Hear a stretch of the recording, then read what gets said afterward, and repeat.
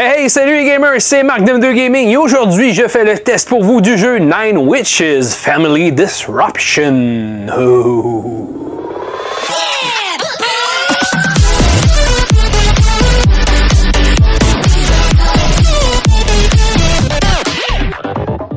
Alors salut les amis, bienvenue à ce nouveau test de jeu pour le jeu Nine Witches Family Disruption. Qu'est-ce que c'est que ce petit jeu-là? Ben, pour ceux qui sont amateurs de jeux pointés et cliqués, euh, c'est une aventure pointée et cliquée avec euh, plus de mécaniques habituelles euh, que les jeux pointés et cliqués habituels. c'est un jeu fait par Indie Disruption et aussi Blowfish Studios qui nous offre ce jeu-là, qui est très très hilarant. vous allez voir, fiez-vous pas à ce que vous voyez qui semble peut-être très très banal, mais c'est un jeu qui est quand même très drôle, très loufoque. Euh, d'ailleurs, c'est un des premiers euh, points positifs du jeu. Ce qui est vraiment trippant, c'est l'histoire qu'on nous a mis en place, qui est absolument euh, farfelue. évidemment, on, on, prend le rôle de deux, deux personnages principaux qui sont Alexei et Akiro, qui sont qui se retrouvent jour au lendemain à infiltrer, si vous voulez, la division Occulte 55 qui appartient au Troisième Reich allemand, parce que ça se passe à la Deuxième Guerre mondiale. Et là, ben, ce, fameux, euh, cette fameuse division-là, Occulte 55, travaille sur un genre de, de, projet obscur euh, de soutirer une énergie sombre et très, très, on va dire, démoniaque, euh, issue de l'éclipse lunaire qui appelle la Lune Noire. Et puis là, ça va provoquer toute une série d'événements puisqu'ils veulent utiliser cette puissance-là, cette puissance noire-là, cette puissance obscure-là, pour dominer le monde. Et là, ben, Akiro et Alexei vont devoir carrément essayer de s'infiltrer dans le culte 55 pour aller soutirer des informations et contrecarrer les plans euh, des euh, nazis et de euh, l'armée allemande pour sauver le monde, pas, moins, que, pas moins que ça. C'est vraiment, vraiment, vraiment, comme je vous dis, c'est vraiment loufoque. L'histoire, c'est super bien. Pour ceux qui aiment ça, c'est tout en français. Il n'y a pas de dialogue à proprement dire, il n'y a pas de voice-over. Et les textes sont vraiment, vraiment succulents. C'est euh, une petite perle d'écriture. Il y a beaucoup, beaucoup, beaucoup d'humour là-dedans. Euh, oui, il y a beaucoup d'humour pipi caca. Euh, ça parlera peut-être pas à tout le monde, mais c'est quand même super bien fait, super bien amené. Puis moi, j'ai adoré ça.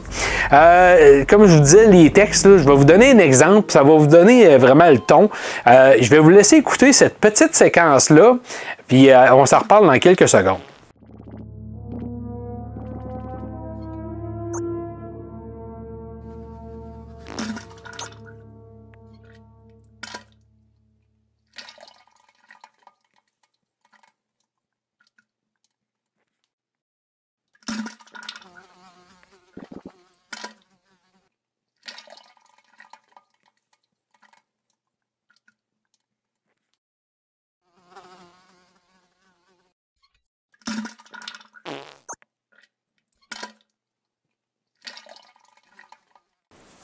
alors comme euh, vous aurez pu euh, comprendre, c'est quand je disais que c'est très pipi caca, ce genre de blague-là se retrouve beaucoup, beaucoup tout le long du jeu.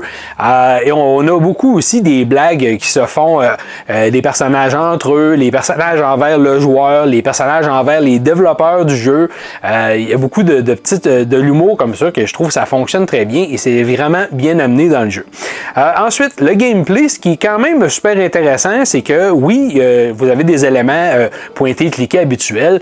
Euh, vous pouvez euh, diriger ou vraiment manipuler les personnages comme vous voulez. Ils sont tout le temps les deux ensemble. Puis avec seulement une, touche sur un des boutons, ben vous allez changer d'un personnage à l'autre. Et chaque personnage a son, on va dire, on c'est, ils ont chacun leur capacité respective.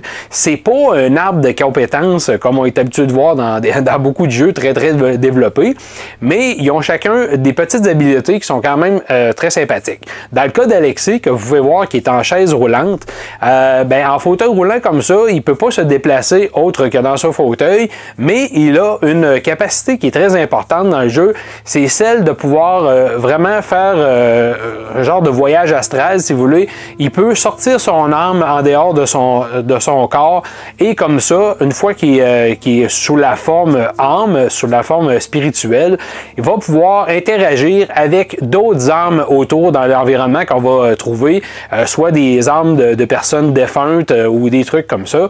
Et ça va lui permettre aussi de passer à travers certaines portes qui, qui sont verrouillées où Akiro ne peut pas euh, passer, évidemment, et voir qu'est-ce qu'il y a dans telle pièce ou dans telle pièce, aller chercher de l'information comme ça et aider à la progression. Du côté d'Akiro, bien évidemment, lui, ayant tout, euh, ayant tout son corps euh, fonctionnel, lui va plus avoir l'habilité aussi quand il y a des combats, parce que oui, ça c'est une autre affaire qui est différente un peu du pointé cliqué habituel.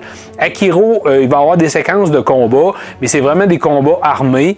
Quand ces séquences-là arrivent, ben, c'est quand même plaisant parce qu'on peut se déplacer un peu partout dans l'environnement, euh, trouver des fusils et euh, des, munitions ou des armes différentes et euh, tirer comme ça sur nos assaillants. Puis ce qui est vraiment loufoque et vraiment drôle, c'est que ces séquences-là sont quand même assez difficiles au niveau de réussir à, parce que vu que c'est en 2D, c'est de trouver la, bonne, la bonne hauteur dans l'écran, si vous voulez, pour tirer vraiment sur les ennemis. puis on se retrouve souvent à se faire tirer, nous, et on meurt. Quand vous mourrez, vous allez rencontrer ce cher diable qui vous demande si vous voulez échanger euh, votre âme, si vous voulez lui remettre votre âme en échange de son aide. Et euh, les premières fois, on est comme réticent, on veut pas trop, on veut euh, se débrouiller nous-mêmes. Puis à un moment donné, vous allez vous rendre compte qu'il y a des combats qui sont quand même assez difficiles. Et là, ben, on va vendre notre, notre âme au diable carrément.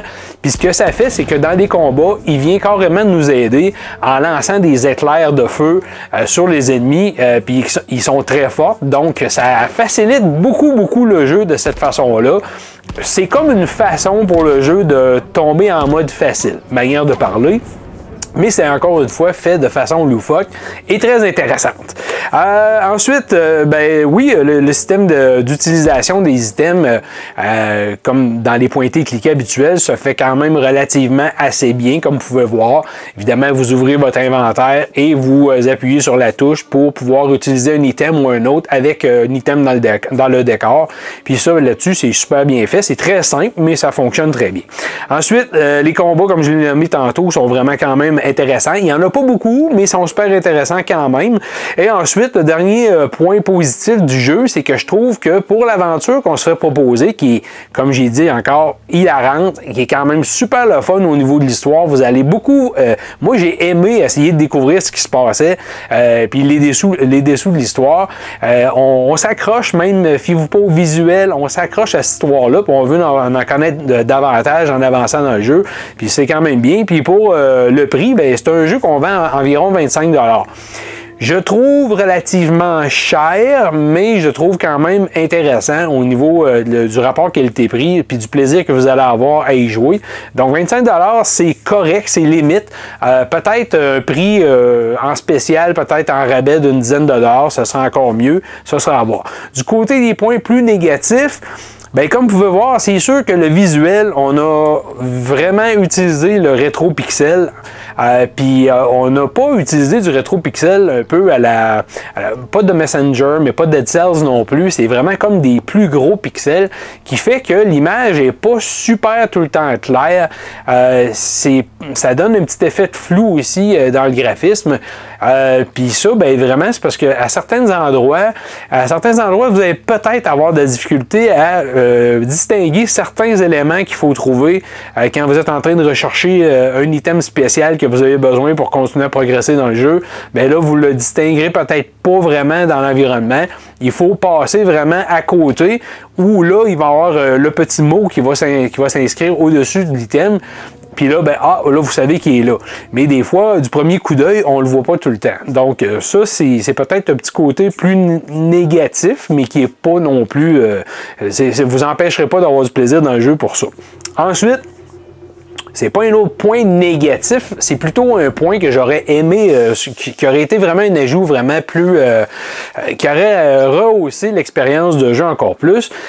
je crois que si on avait eu des dialogues parlés, du voice-over dans le jeu, peu importe, oui, ok, peut-être ça, ça avait été en anglais, ça aurait été peut-être pas attrayant pour tout le monde, mais quand même, je pense qu'avec des acteurs quand même bien ou qui rendent bien les lignes, les les textes auraient été quand même très hilarants. Il y a beaucoup de moments dans le jeu où c'est vraiment, vraiment drôle. Et ça, avec euh, du langage parlé, ça aurait été encore mieux. Sinon, ben, l'histoire, euh, c'est sûr qu'encore une fois, c'est une histoire quand même assez courte. Vous en allez en avoir pour 5 à 6 heures. 7 heures en forçant, mais forçant beaucoup, parce qu'il n'y a pas beaucoup de recherche à faire, il n'y a pas vraiment de. Il y a pas vraiment de, comment je veux dire ça, de, valeur de rejoute ajoutée non plus au jeu. Euh, puisque le jeu, euh, je vais vous le dire, quand vous le faites en ligne droite, vous allez avoir votre trophée platine si vous jouez sur PlayStation 4 comme moi j'ai fait. Euh, donc vous n'avez pas à chercher vraiment, puisque les trophées vous tombent presque dans les mains. C'est assez facile. puis il n'y a pas vraiment beaucoup de choses pour aller. Il n'y a pas d'extra qui se déverrouille pour aller rechercher des trucs par la suite dans le jeu. Donc 5, 6 heures, 7 heures en forçant euh, pour pas vraiment beaucoup de valeur de rejoute, ben c'est un peu euh, un peu moche, mais c'est quand même pas si mal. Ensuite, ben euh, ça fait pas mal le tour, comme je vous dis, à part le prix, euh, peut-être à 15 je trouve que ça aurait été vraiment un jeu superbe. mais 25, ça va peut-être justement faire en sorte qu'il y a des gens qui vont être réticents d'en faire l'essai. Puis pourtant, je vous le dis, c'est une belle découverte, une belle pépite. Allez ramasser ça. vous allez avoir le sourire au visage presque du de A à Z. C'est vraiment assez hilarant, assez loufoque vous aurez à la limite imbécile à, cause de l'humour pipi caca, mais ça fait quand même la job.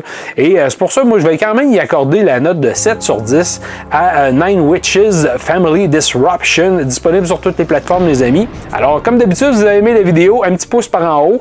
Euh, on s'abonne à la chaîne, c'est très important. Continuez à nous suivre sur nos autres plateformes et on se dit à la prochaine pour une autre vidéo. Keep on gaming!